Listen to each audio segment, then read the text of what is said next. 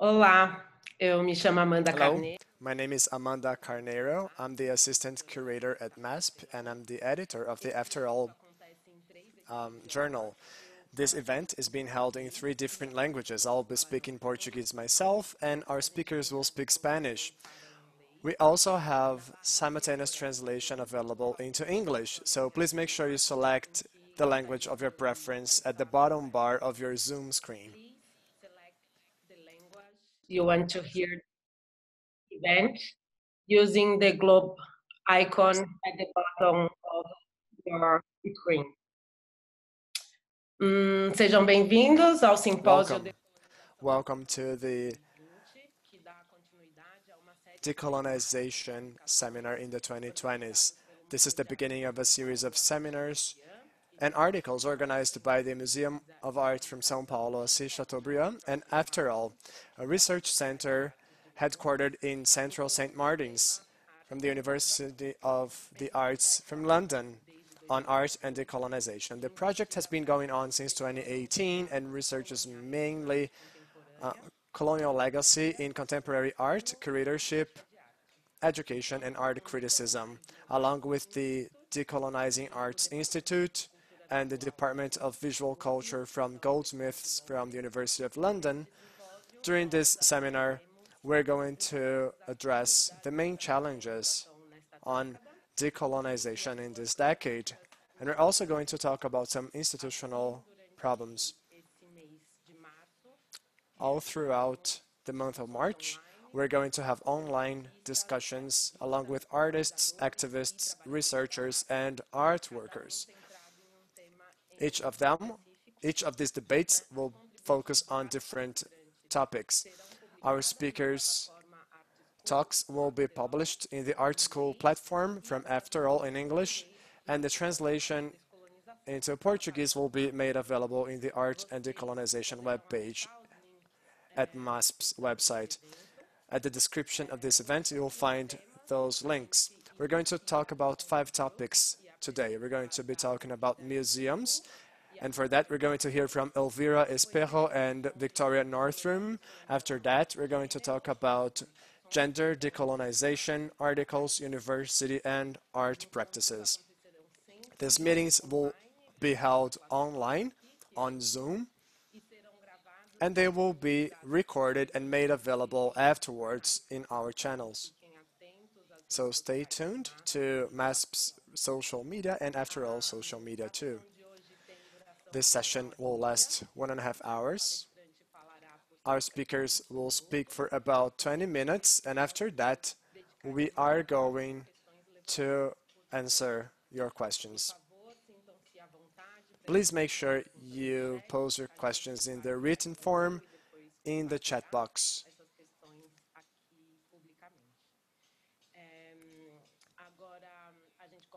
With that, let's start our event. I wanted to introduce you to Elvira Espejo, our first guest. She's the visual artist, musician, weaver, and oral tradition storyteller. From her place of origin, Ayllu Qaqachaka, from in Oruro, Bolivia. I'm sorry if I mispronounced the name of your place of origin, Elvira. She is the head of the National Ethnography a and Folk Museum from La Paz. In 2020, she won the Goethe Medal, which is um, great accomplishment, which is given by the German government to different artists. She has ex- she has been part of exhibitions in the Reina Sofia Museum in Madrid and Haus der Kulturen der Welt in Berlin, as well as in the Space Simon First in La Paz.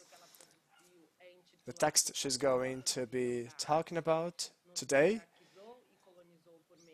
is the painful division of art has created a hierarchy on us and colonized us.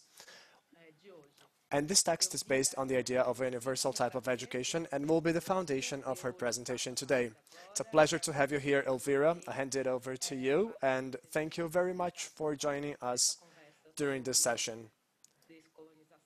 Thank you for accepting our invite. Thank you.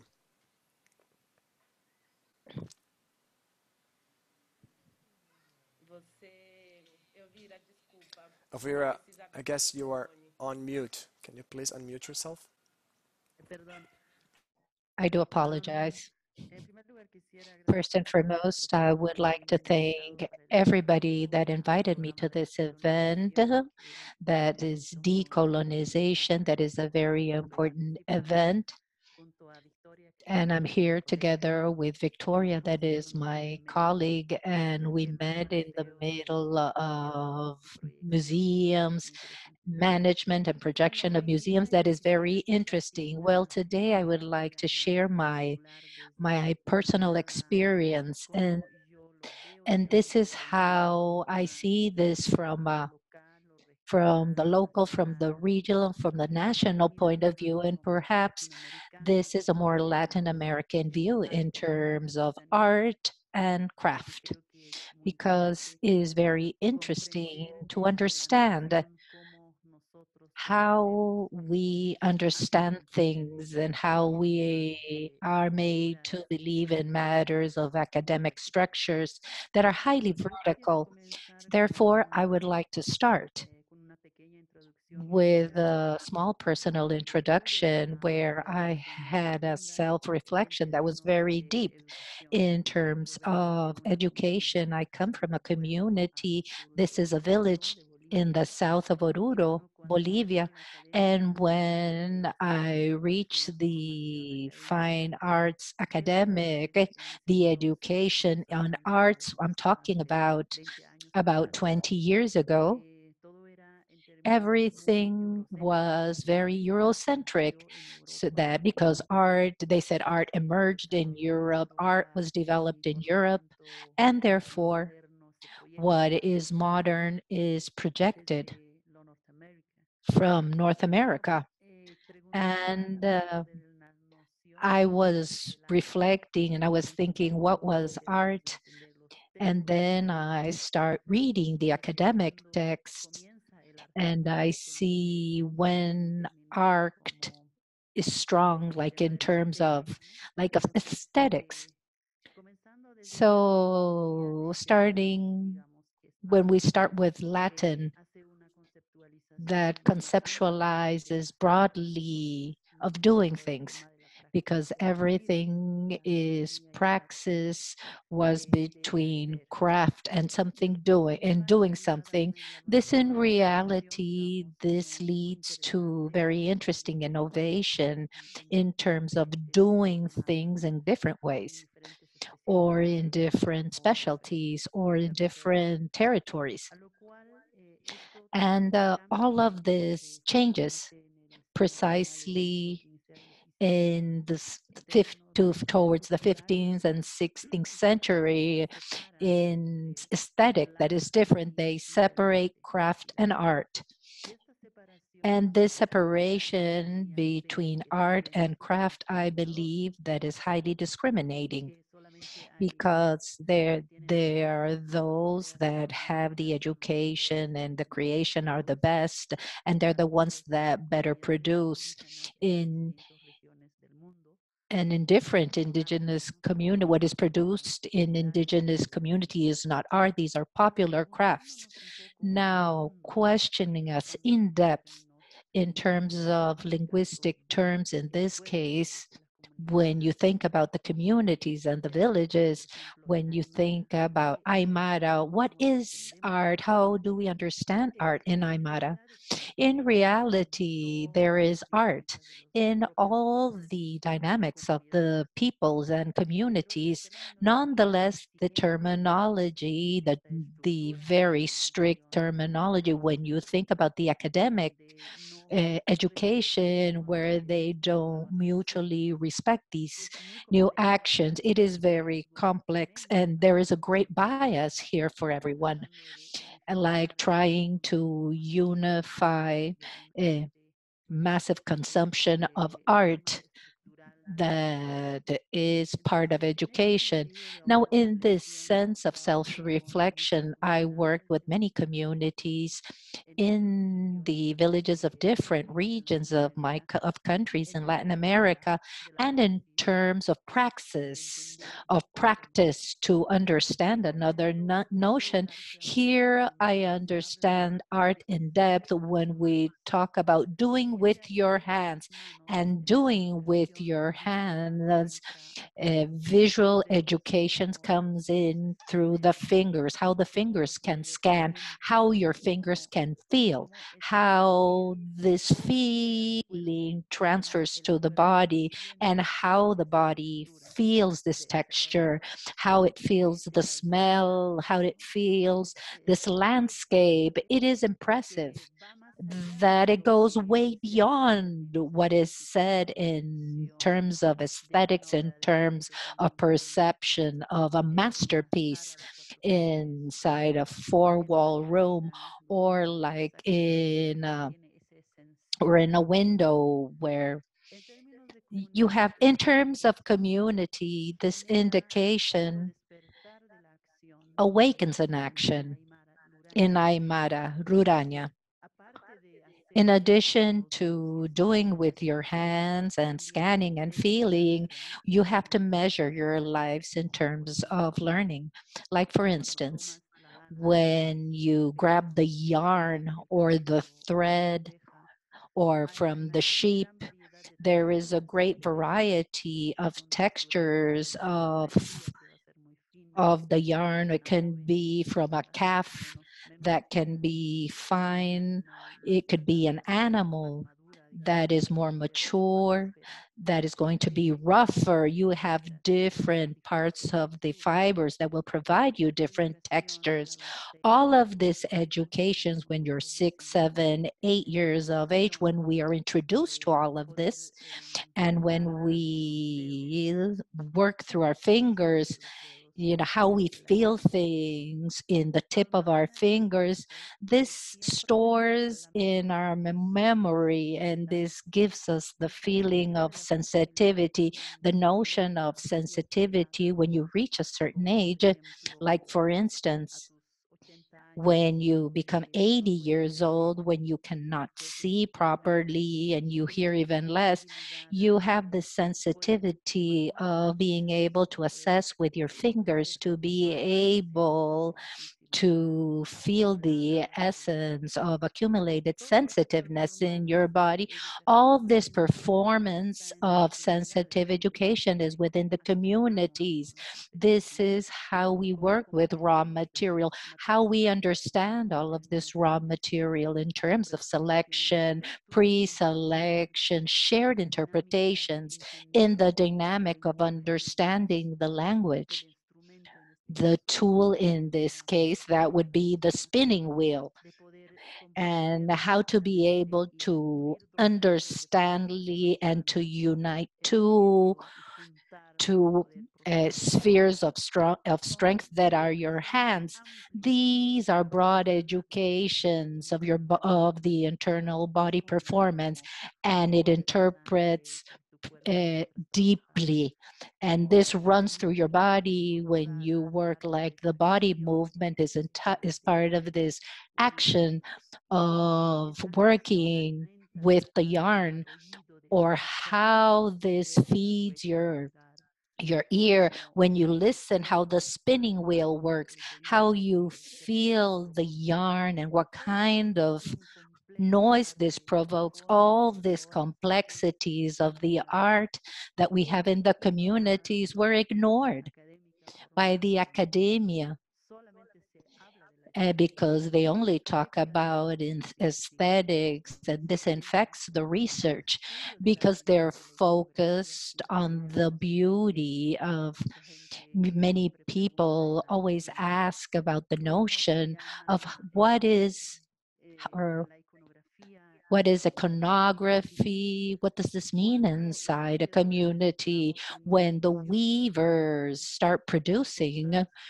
we as weavers, as we do things with our hands, we are not concerned about the iconography and the meaning. We want to count the threads, we want to add, subtract, we want to multiply, and we want to make with the great amount of threads that we have. And with this, we will create something and that will result in something that will be predominant for the perception of research. So in this sense, for us, as weavers of these villages of, or communities, we see that the greatest bias is this vertical structure of the formal academia that does not value Oh, I mean, they don't understand the notion from communities, from villages, and they don't understand the structural language, like we say, eh, how Mapudungun would displace in its original language, how we and Aymara and Quechua have this systematization of understanding these actions and these terminology. They allow us to understand this complex structure in order to understand how to talk about art from our point of view and not assume this information from outside because I had this experience in terms of uh, museology that is important. And for me, this has been highly interesting to have two completely different views. The museographist graduated by the university only pays attention to the superficial beauty, what is beautiful, elegant, what has form, what has color, and perhaps in conservation terms and preservation terms, but they don't see the construction as the textile artists do and the and the interpretation for the weavers is to count the yarns to see the textile, the, the other side, if it's simple, complex. For this, you need a 3D understanding, not a 2D understanding like a picture on the wall. So for this, we have to understand as society this. And we see a very strong colony when we see how to superficially perceive, how to perceive internally these actions and how to understand in philosophical terms from the communities in their own language because all of this was strongly interrupted with this formal academic structure that is like creating a monoculture of the art history. So that is very complicated because all that deployment in terms of university, in terms of education, in terms of school, even nowadays we still have that, that perspective. So that doesn't really give us an opening to having to having a multi-language, to understand knowledge beyond what's traditional, what we've had so far. So in this reflection, I wanted to share a little bit of this idea that we can understand things as a society, as a people, and also we can try and understand having our roots as a perspective, we can try to understand history, ethnography, the contemporary culture, etc. So all that deployment, I would say, makes us think about the system of universal art, how it works, and how Latin America can also get projected here in this in this sphere. Just like Asia could also do that, doing um, some work with ceramics, with other things. And this way we wouldn't have a difficulty in having art based on this pyramid we would be more horizontal, we would have more mutual respect, I would say. We would have, we would be giving these original voices more power. We would understand things from a different perspective.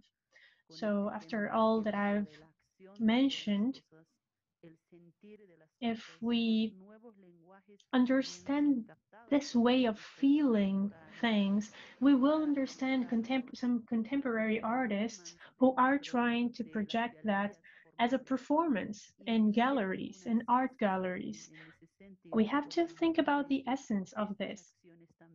Sometimes these actions they are coming from a landscape, they're coming from a territory, and it, it is very nice to bring this to an art gallery because we need to think about accessibility, the territory, the landscape, something that comes with wind and the sound of the water and the heat of the fire. You see, it is more complicated, of course, to bring all those feelings, but it would be very nice to try and build that bridge for different communities and to have co-authors here. We have we would have the artists and the communities being co-authors really in this art, in this type of art. That of course would bring more mutual respect as I mentioned before. The expert, the artist must have that sensitivity to bring the community together into their works of art. It's very important for curators and for artists to have that sensitivity. And we must reach a certain point of balance to be able to do that in the future. This way we would we would be able to understand the future a little bit better. Anyway, we need to have more maturity from a language perspective, from that co-authoring perspective, and also how education can be a revolution in this, in verticalizing all this. So we, in this self-reflection, we can also try and expand the way communities can be part of this type of action with culture in art galleries and museums. So I know this is very important and probably in the future, the idea is for us to all understand each other a little bit better, to have more mutual respect. And I'm sure that could help us bring more information, more initiatives to the table.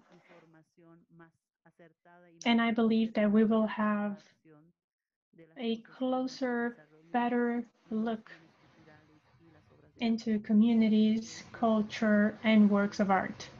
Well, of course, I am here for you. If you have any questions, if you have any comments, I will be pleased to talk to you all. Thank you very much for the invitation. Thank you so much, Elvira, for your words and your thoughts and the thoughts that they provoke. Once again, to those of you who are listening to us, Elvira's words will be published in English at the Afterall website, and it will be available in Portuguese on MASP's website, where we'll have some more in-depth thoughts about what she just shared with us. Before I turn it over to Victoria, I would just like to remind everyone that your questions, your thoughts, your comments can be shared with all of us through the chat box. I'll be watching out for them and we'll answer your questions at the end of the talks. So I'd like to introduce Victoria Noorthoorn. She's the director of the Buenos Aires Modern Art Museum. She's been the director since 2013. She used to work for MoMA and the Drawing Center in New York. She's already worked for Malba in Buenos Aires. She was the curator at the Cali Artists National Salon in Colombia 2008 and the Pontevedra Biennale in 2006 in Spain and the Mercosur Biennale here in Brazil in 2009 and the Lyon Biennale in 2011, among many other exhibits. Since November 2019, she's been a member of the board at the International Committee for Museums and Collections of Modern Art and ICOM, the International Council of Museums. Victoria has also written a text that's been made available on our platforms. It's called Three Attempts to Decolonize the South, and her presentation will be based on that text. Victoria, thank you so much for saying yes to our invitation. Thank you for joining us today, and I will turn it over to you now.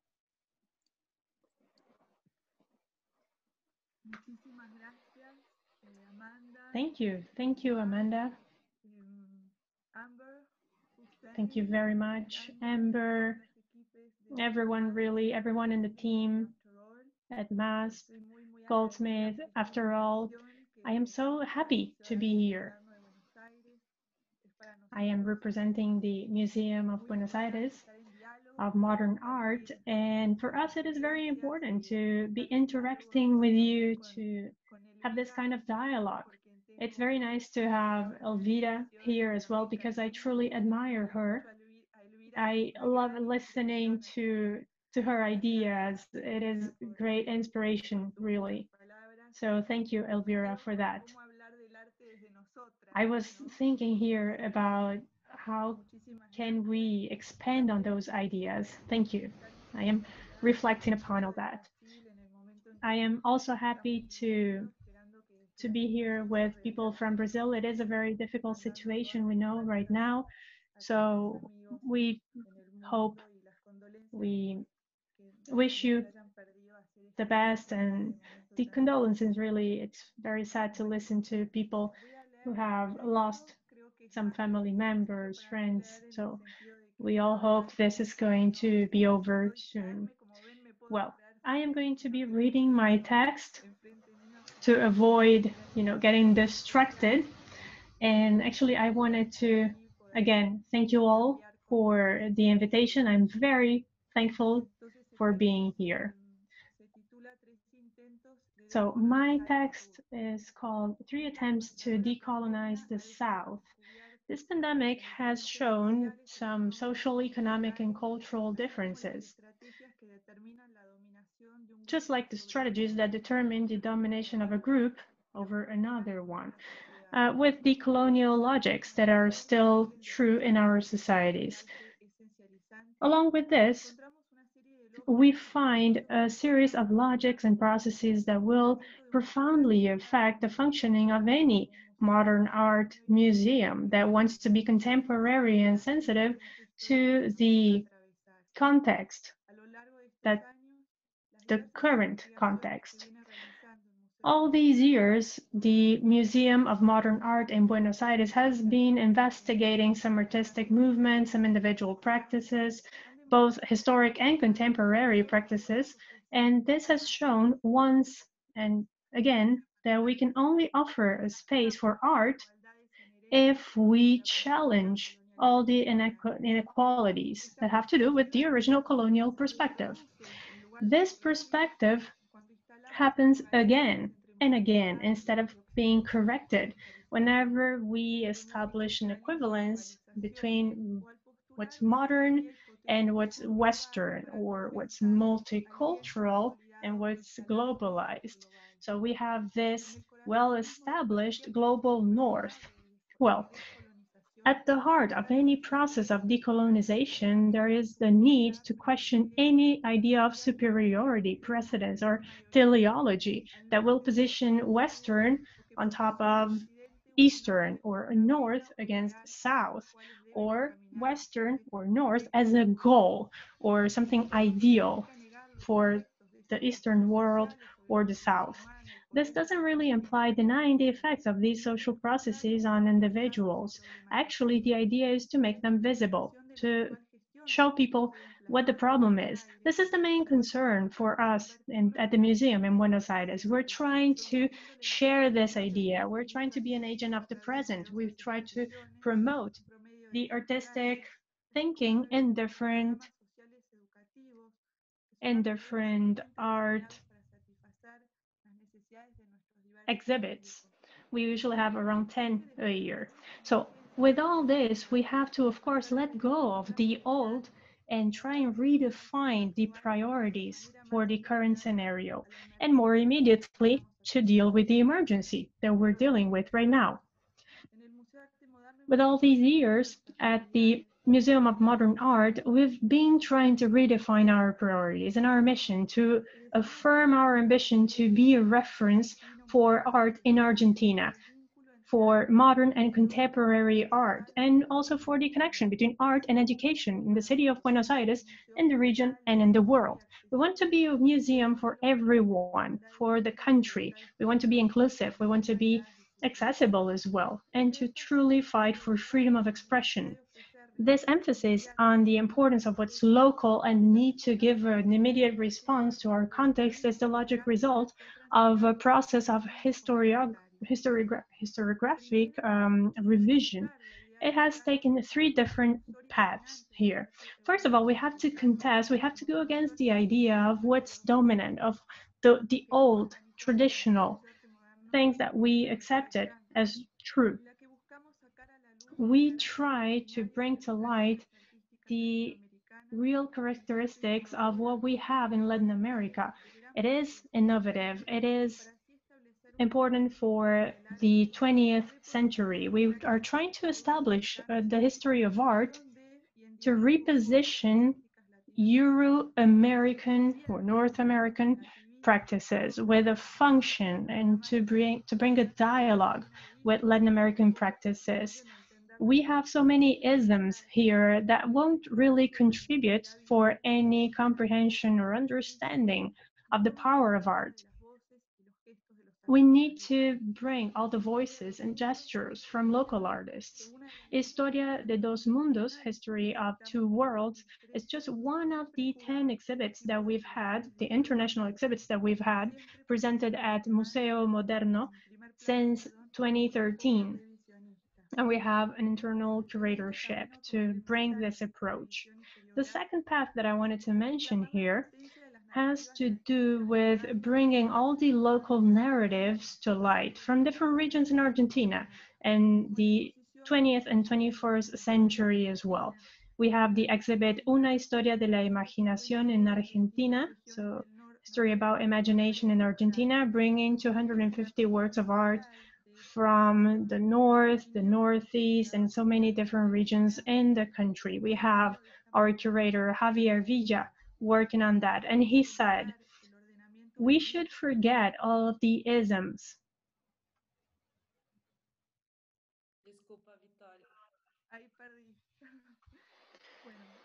Sorry, I think my mic didn't work for a while, says Victoria. So I'm going to repeat what I was saying. As I was saying, uh, our curator is Javier Villa, and he said, we should forget all of the isms, the eras or the aesthetics or the strategies that are the root of the art in Argentina? Should we do that? Or even suspend or ignore our own ideas about these structures? Should we? Should we forget about all the, the enthusiasm that we had in the, in the past? Especially when it comes to European art and all that traditional art. What would happen if we became more conservative and started talking about tradition nationally, talking about our national identity? We should at least try. Here in the South, we're not going to be uh, considered fascists just because we just want to talk about us. The second idea that we had about this exhibit was pretending that the legacy from Europe was a kind of disease. You see, in the in the 19th century, when this state was being built, the privilege in Buenos Aires was replicating colonial strategies, bringing from all that domination the, the traditional approach. So at Museo Moderno, Javier Villa said, this is not based on the art, the history of art so much, but on the fiction of the Argentinian literature and what the works and landscapes had to do. We weren't trying to find the great masters that we already knew. We weren't trying to find or refine all the forgotten artists. What we were trying to do was learn. We wanted to see different things that weren't known in Buenos Aires. We were trying to see what the need was to establish a new definition that was more inclusive so that we could recognize ourselves in this new reality. These territories are the place where we're fighting. I mean, this soil is also a cemetery where there are people dying, people, dictators and their followers, rich people, poor people, men, women. This tragic story is in the exhibit because it is an important part of history that we should reassess. The history of imagination in Argentina uses the past to also dive deep into the present. How can we reinterpret the genocide of indigenous peoples today? Where do we put our the, the bodies of the dead people? How do we deal with the, the bodies of women and men? And also this geopolitical theme in the museum, it is very important to think about our curatorships, educational and social initiatives with the goal to respond to the challenges in the current scenario. And we also have to build an archive of the present around the works and ideas and reflections of the artistic community in Argentina. This emphasis on what's local is a characteristic of our program ever since 2013 we've been trying to bring more visibility to the artists in Argentina. We have 65 exhibits of artists in Argentina. We've had 65 so far as a way of bringing justice in this local context because for decades they didn't really receive their merit. And nowadays, because of the pandemic, due to COVID 19, there was a program prioritizing what's local. And now we are in a position of a little bit more power. We're probably more ready than before to deal with the challenges that we have to solve and overcome. We have to not just have exhibits that will sell because of great masters, because of famous works of art. We need to bring something different to museums from March to until October 2020, for instance, we had to close the museum, and it was a long time. We are trying to deal with, with this fragility of social networks because of the characteristics of domination that are even more uh, frequent now because of the pandemic. We also developed the digital program Museo Moderno en Casa, um, Modern Museum at Home, to offer more support to the community and to the families and to everyone working with education from home. So we're looking at different topics and things related to this. So over 20 programs, virtual programs that we've had so far, they have brought many artists from all uh, around the country and this commitment has made us have a better investigation about this need.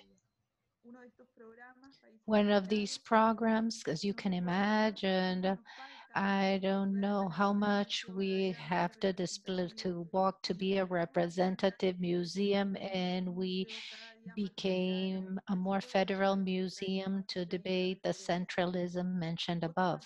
A terrible void was created when on May 31st of 2020, just six days after the murder of George Floyd, another brutal act of police violence took place here in Argentina in Fontana in the province of Chaco when officers of the 3rd police station in Banderas Argentinas neighborhood broke into a house in the indigenous community, beat and tortured the people living there, and then arrested and raped them. The the victim was doused with alcohol to the cries of infected Indians threatened with being buried alive. Eh. In comparison to the global outcry in the response of the murder of George Floyd, the silence of the Argentine media regarding these crimes.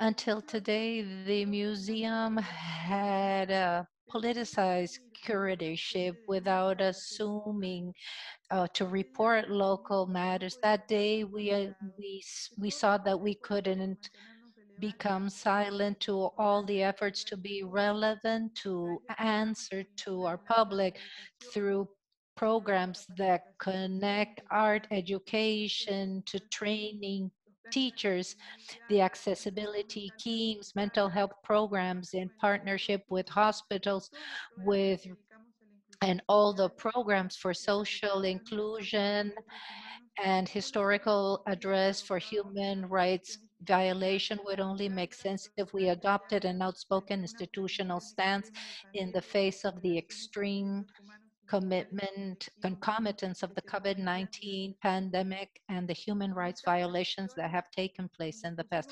With these convictions, we began preparing the program about racism program, which we will, which presented September last year to address the issue of racism in a country that considers itself to be very anti-racist. And first of all, to bring visibility to the existence of the problem, we hired a research company to conduct a study on racism racism in Argentina. The main conclusion was that the Argentinian people recognize the seriousness of racism in the country, but do not see themselves as racist. It's always the other that is racist.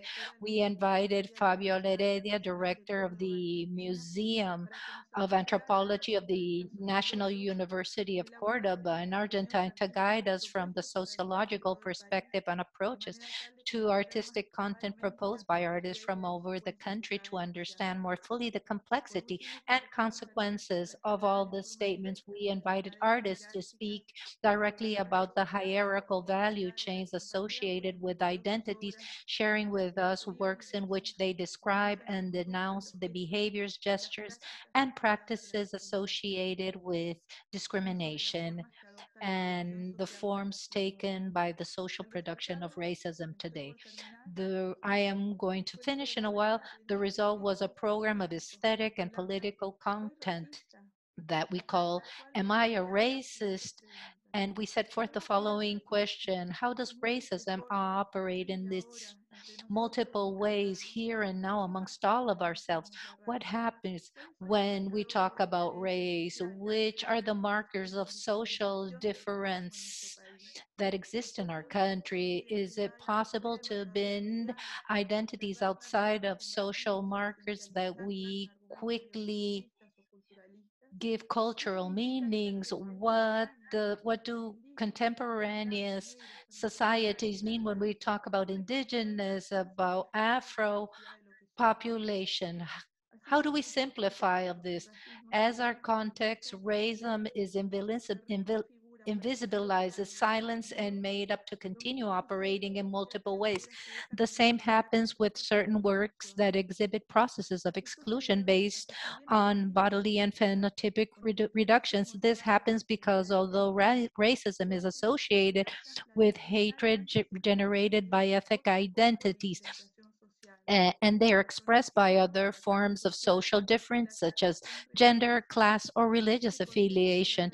In this context, to speak of racism implies making visible all situations of discrimination and depreciations that perpetuate colonialist power relations. To conclude, there are three strategies that the Museo of Arte Moderna uses in order to implement a revisionist practice of colonialism in Argentina the creation of exhibition and programs that present both local and international artistic practices with the aim of always reformulating them from a decolonial Southern Latin America center point of view, rejecting the possibility of presenting canned products from abroad to an obsessive insistence on the importance of local art in all its historical expressions and content.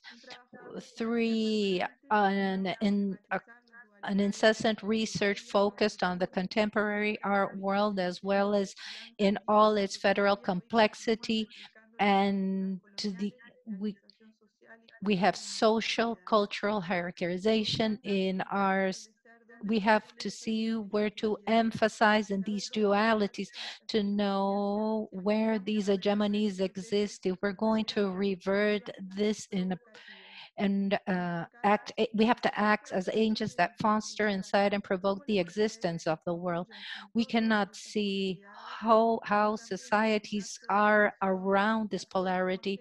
We have to be agents to incite provoke the existence of other worlds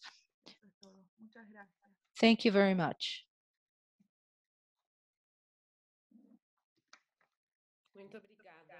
thank you Thank you very much, Victoria, for your kind words. Thank you for your talk, and thank you, Elvira, once again.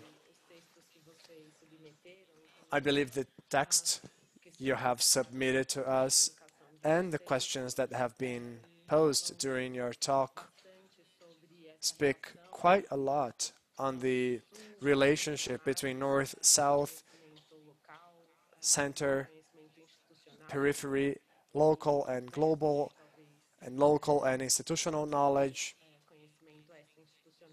and or extra institutional knowledge.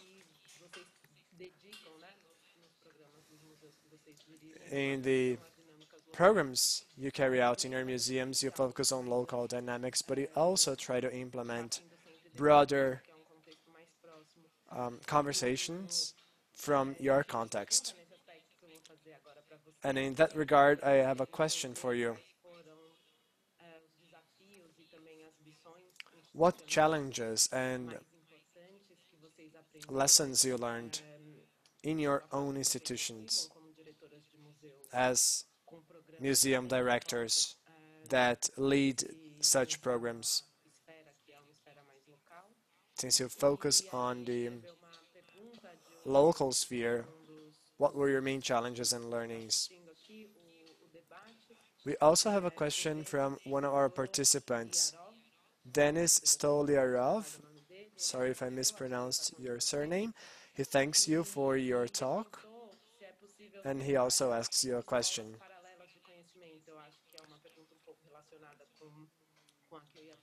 Can we have different schools of knowledge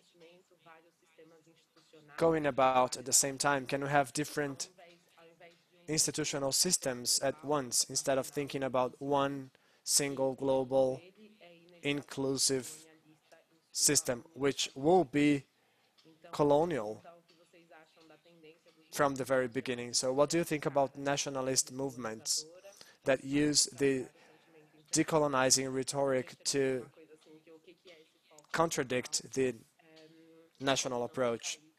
So how can we have a local scale focus and not reproduce a nationalist discourse.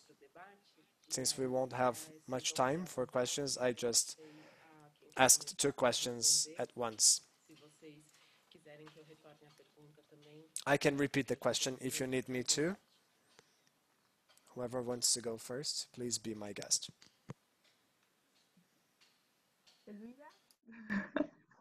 ¿Quieres empezar tú? Elvira, would you like to start?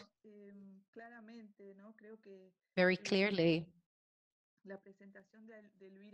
Elvira's presentation answers directly this question. You know, regarding having different types of knowledges. Now, from the museum's point of view, I believe that there is an abyss between what is local and to have an exacerbated nationalism precisely it is when you bet on on the Argentine artists with all of their knowledge, understanding the complexity of the knowledge that the artists have with their research, you know, works that they work with science, with education, when they work with policy, with popular culture. Levita was talking about fabric as textile, as a world of this of sensorial discoveries. We can also think about the artists that work here in the middle of a city, like Buenos Aires with a thriving popular culture like like Sergio De Loof, that was an artist that worked with recycled material, everything that you have at hand, always producing ephemeris works. There is such an expanded knowledge within each one of the artists that we can work that I believe that if you if you understand as an institution, an institution dedicated to modern and contemporary art, that you are at the service of this creation, of this power that is art, and you stay these individual poetry, uh, but but it's also community poetry and collective poetry. What emerges is a micro policy, the possibility uh, of doing something as an example to create another social reality you don't have to focus necessarily on the local, but on the individual practices of artists that work in a context. And for this, you need a lot of knowledge that goes many times beyond this uh, this context and will resonate international internationally. Elvira, I don't know if you would like to say something.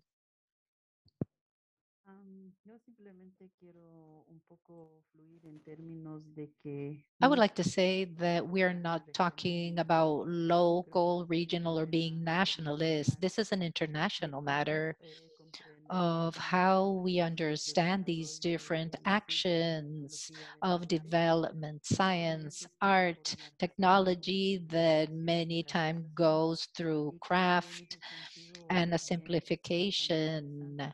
And sometimes it is interesting to understand how you treat cotton, pashmina, silk in Asia, and also talk about the understanding of wool linen in Europe. And in Latin, Latin America, we have Camelido that we have in Chile, Argentina, Bolivia, Peru, and Colombia, Ecuador. So all of these development dynamics in different regions and in different communities well, here there are certain actions that are according to society, culture, identity, and also developments in terms of praxis that generates its own ways of doing things that have other meanings. And many times when we generalize in international terms, we ignore them and like we we eliminate some terminologies for human mutual respect. We have to understand this pluri, diversity of arts. It could be textiles, ceramics, it could be metals, it could be lithic terms.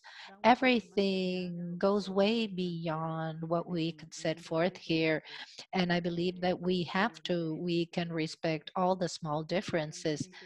And we also have to understand that this surrounding or this environment or these museums or cultural centers should have the notion of broadness and to open these diverse compositions because many times they're only focused on a vertical formal outline and to innovate together with society will be different than an understanding.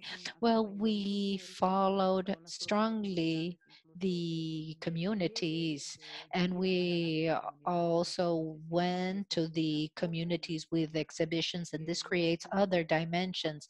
It is like to absorb the cultural products of the communities and taking them to the museum and not giving them back to to whom they belong in terms of information and in terms of research documentation promotion it is important. And modern contemporaneous contemporaneous innovation. This is a broad field and we have to understand from a number of points of view so that we can have mutual respect for the diversity of knowledge and ways of thinking. Thank you, Elvira. There is a question for you.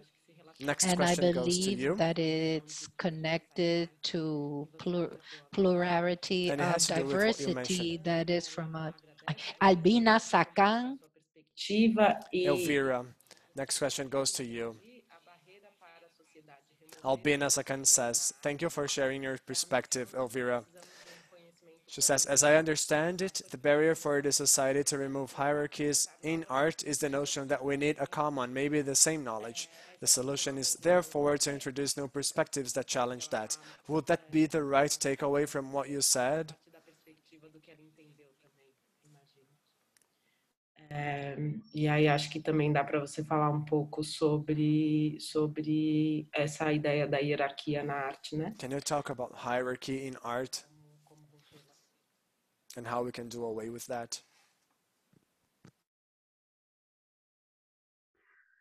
Bueno, yo creo que pasó en muchos países. What we eh, saw in many countries was the subject of hierarchy that was was being complex for the communities and set by social classes and we also have education or training and this is highly notorious when we see art history in anthropocentrism, that is anthropology, when we have information. Sometimes as researchers, we go to the community to attain information and we are like reporters, we are co-authors of the thought and many and this also happens with contemporary art sometimes. there are objects in the communities from certain artists and this could also due to it's the education and the fame that the person has things follow these directions to obtain these cultural products of the communities. And I believe that we could put them in the formal rooms of the museums. I believe that this entire dynamic demands uh, self-reflection amongst all of us to see how we can have mutual respect amongst us in terms of formal art, informal art, art of the people, art for community of the region. So I believe that this is a matter of understanding beyond and to be and not only understand the structure of academic education and artistic education that sometimes have certain things that are not in accordance with modern and contemporary realities of understanding and mutual respect, especially communities uh, from indigenous people.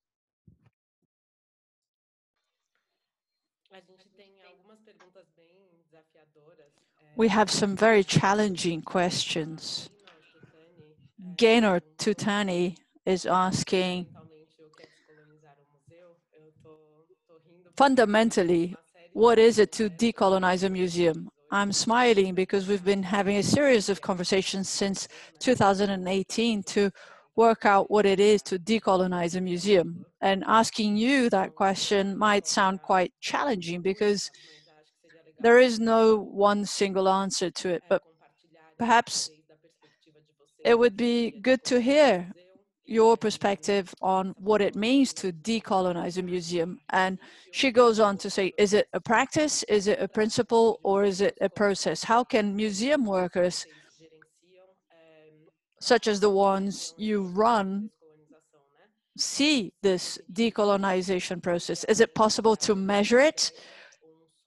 Is it really just an idea or a dream that is potentially difficult to fulfill? It's a long question, I think. As I said, I'm smiling because we've had a series of conversations that have attempted to answer that question. So feel free to share your thoughts.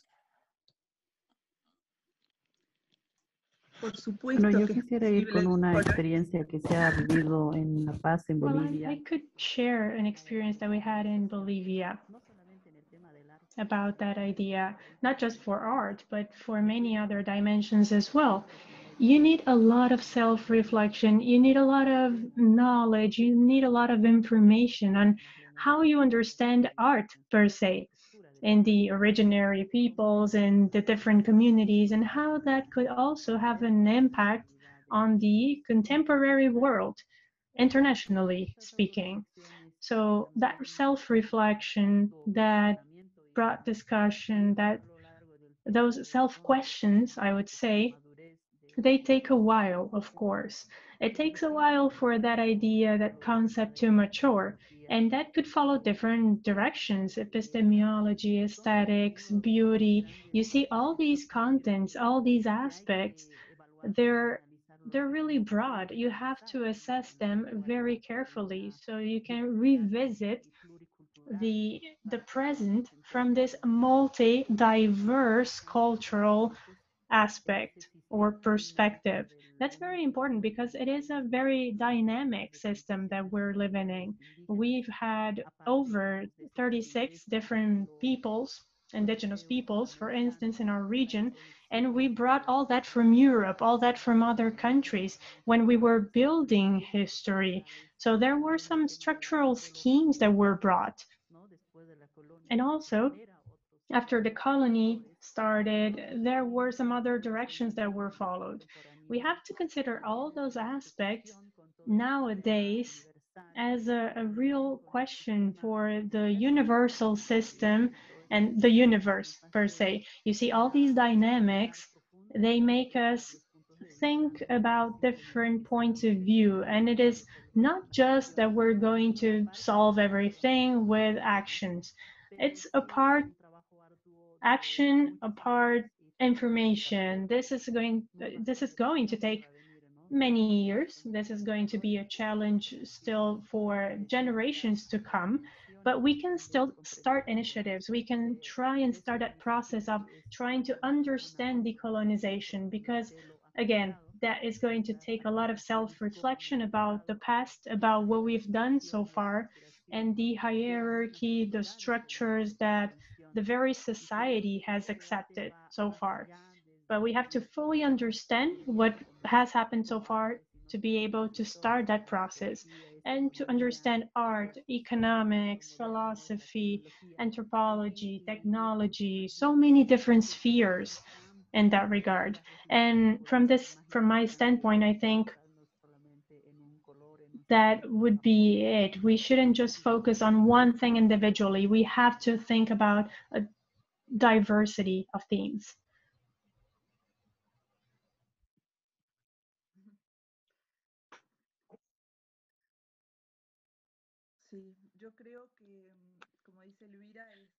Well, I believe, as Elvira was saying, I believe that it is indeed a process. And it is very ambitious, of course, because of the of, of how complex this is. But it's something that also encourages us to move forward. I was going to say that if anyone here is also a director of a, an institution, of a program, my tip would be you have to be very persistent. You have to insist. There will be many obstacles, but you have to take a deep breath and continue. You have to be convinced that a museum or any cultural organization really is a potential agent of change so the idea is not just showing people what the truth is. That's not the case. What we have to do is to generate constantly more curiosity. We have to stimulate, we have to promote imagination. We believe at our museum that that is the real engine for human development. So we need to make sure that we're allowing people to have that freedom of expression, that freedom of imagination, so that we can witness this change. We can be part of this process of building a different world with all the artists, even though it is a very complex thing. But we will be at, at their service, you know, for this process. We want to bring this closer to society as a whole. I think that's what's beautiful about the activities of a museum. We sometimes think about a museum as being a very fixed, um, rigid, traditional institution, but it can be an institution that is constantly suggesting different things. It's constantly changing, bringing new commitments.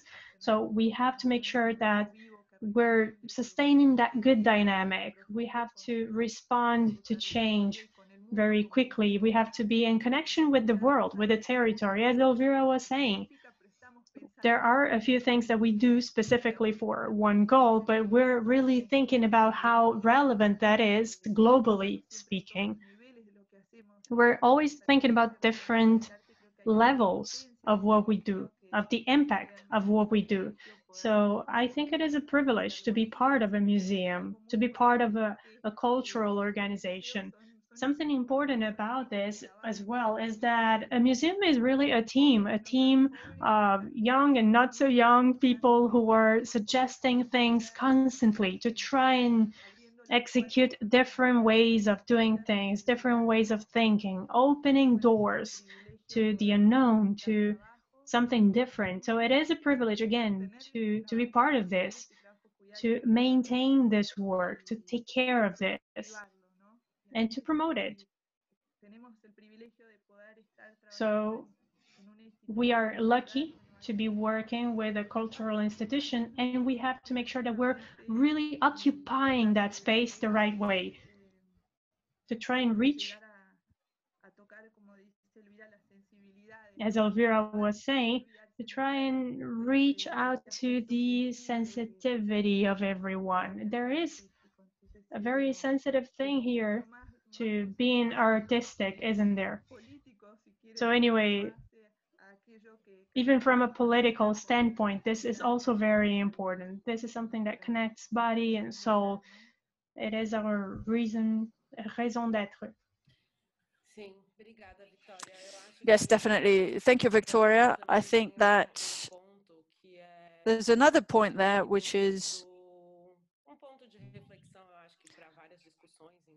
food for thought and has been food for thought in conversations about art and decolonization. And some people actually question that there's some co-optation of art and museums without an actual change of museum structures. And I think different movements are claiming a decolonization that isn't thought out or based on politics of collections or exhibits, but also the dynamics of access and power and positions of power and hierarchy. I think that conversation also includes those reflections about the universe, but also the structures of power in museums. Our time is almost up, but there is one last question. Jose Segrebi asked a really good question, which I think can be our final question. Uh, if you would like to comment on what I've just said, please feel free to do so, but I didn't want to end this conversation without asking this question. He thanks you for your very inspiring talks and your questions that have prompted a lot of reflection, and he'd like to hear about your thoughts on the digitization of museums and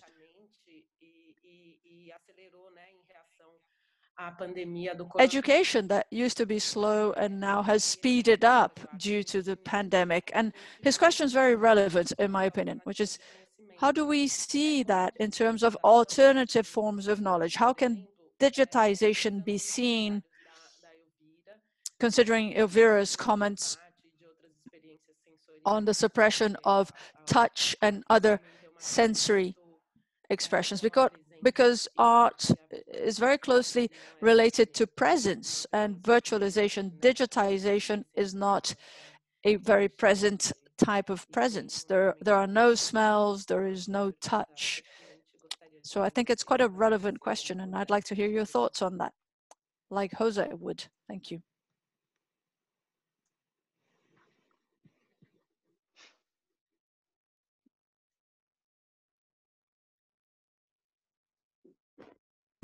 Um, yo diría que el tema de la digitalización I would say that it is very interesting to, to think about this digital world.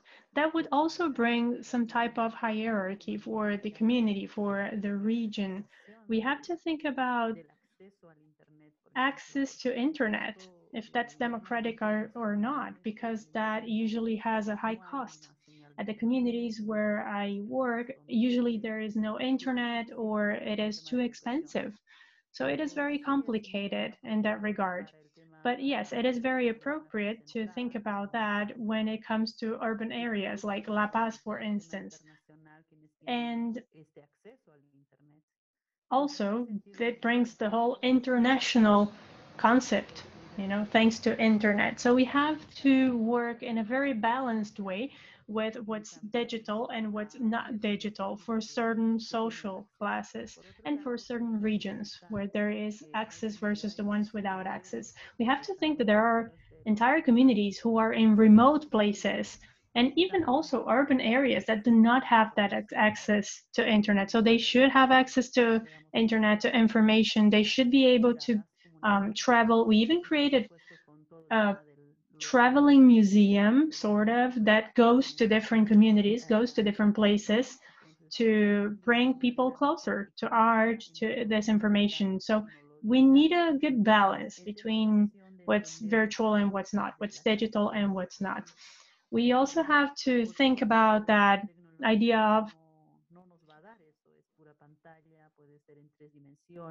touch screen, for instance, or tactile um, technology. We need to find a balance because for those who like screens, it is different. But I believe that education also has or also needs a reflection upon the feeling, you know, feeling with your fingers. It is different. You have a different experience in education when you do that. So all that brings us back to that idea of self-reflection about the fact that education cannot really depend on a screen. It cannot just depend on technology. You have to question that. Of course, you can work from home, you can work from anywhere, you can experiment, you can try different things. That's great. But there are some topics that we have to question because technology here as a, a thing that is consumed we have to think about who is benefiting from that. Usually people who use technology all the time, they, they don't really reflect upon the essence of what can be done with the real feelings, feeling something with your fingers, etc. We must find, again, a good balance. And as a museum, as professionals who work with this type of institutions, we are willing to work in that regard, to try and find a good balance for society. tema de la digitalización, eh, As Elvira says, we are thinking about access what kind of access you have or you do not have to technology. In the case of our museum, when we try to facilitate pedagogic experiences during the pandemic, to be very specific, to schools or neighborhoods that did not have access to technology, what we did here was to print folders with activities and we created, uh, we collected funds in order to take to schools that didn't have access to internet these educational activities between art and education. And we also provided artistic material so that they could work. Uh, of course, this has a limited reach because we would like all of the schools of the country to receive the, this material, but this was the beginning of a trajectory, and this is what our team works when we think about social projects. On the other side, for the Museum of Modern Art, we were forced to close our doors. So digita digitalization was an opportunity to update ourselves as, as, an institution. We're an institution that is dedicated to artistic, social, and educational activities. And this didn't appear in our digital platform, so we updated them. And there is something also that happened that was touching for the entire team. This gave us, we became closer to all the different regions of the country and the different art, artistic scenes in the different pockets of the country. It was beautiful to be able to dialogue more with artists in different parts of Argentina, working with them closely so that they can produce their contents. And something that was very moving that in the past, we worked with 7,000 faculty members a year from public and private schools from Buenos Aires and major uh, Buenos Aires in an in-person uh, modality. With this situation, our educational team had to, in a certain way, readapt it themselves. And we were able to work with teachers from the different pockets of Argentina, and they used used the digital material that we were able to develop. And in reality, this was a highly revealing moment because this showed that there are positive aspects of this technology. When you have it, it's important to for it to be democratic, as Elvira says, and we have to see how this approach can be a bridge to propose and to materialize the ideas of artists throughout the country. And on the other side, it is cold, but it's necessary. And of course, when we see the financial side, I believe that we need funds to develop all of these projects. We are a public museum that depends from the ministry, depends on the Ministry of Culture of the city of Buenos Aires, and technologies approached us to possible donors, not only from the country, but from the world we had people there were people that that have in their hearts a concern for argentina but they're in another part of the world and they came to us to support the museum and the different in the different social and educational causes that we had. I believe there is a great path to pave and there are challenges, but there are certain tools that we can use and we just have to see how we can join all these different needs and possibilities so that we can come so that we can embrace the proposals of our artists and offer them to our society. Thank you very much, Victoria. Thank you, Elvira. Thank you for your words and thank you for sharing your experience with us. Thank you for, for talking about your practice and for sharing your intellectual knowledge with us. We hereby conclude our event, but before that, I wanted to ask you if you have, if you want to give us your final remarks. Bueno, simplemente agradecer. Well, I would just like to thank you for this opportunity to dialogue with MASP, with uh, Afterall, we are a great admirer of MASP in Sao Paulo. We have lots of women here in the Museum of Modern Art.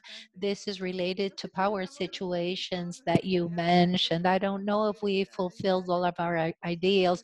There are more women here and we have incorporated professionals from different parts of the country because we want to be more inclusive and federal and there is still a lot to do. So thank you very much for this opportunity to talk to you and to Elvira and uh, let's continue dreaming and let's be able to strengthen our institutions in our exchanges and everything that we can offer. Thank you very much. I would just like to thank all the organizers of MASP for this program on decolonization. It's very interesting because this allows us to self-reflect and to see other points of view and also to I was able to share this moment with Victoria. She has given us her view. She has showed us what she does and we can understand through the dynamics, how we see these different positions and how to understand decolonization because those actions will allow us to bear in mind the famous decolonization in broadened terms. So I would like to thank everybody that has followed us. I know that there is a very big team behind the, the stage, everybody that controls the screens, the audios, the people that create the platform. Thank you to everyone. Thank you, Amanda, for guiding us with your questions and also because of the small self-reflections because this also allows us to self-reflect and a great hug to everyone. Thank, thank you. It was my pleasure. It was great to hear you both. As Elvira mentioned, this is a very large team. Many people worked in the organization of this event. We've got quite a few partnering institutions who have helped us put this together, so thank you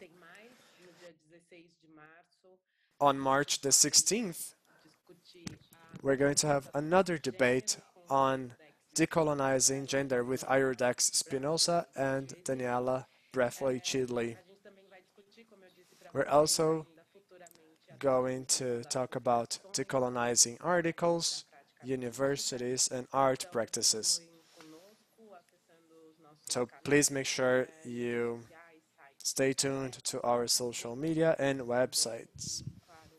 This text will be made available online and please keep on sharing your thoughts on such a relevant topic for all of us. Once again, thank you. Thank you, Elvira. Thank you, Victoria. And thank you to everyone who's watching us. We'll see you soon. See you next week. That's it. Bye-bye.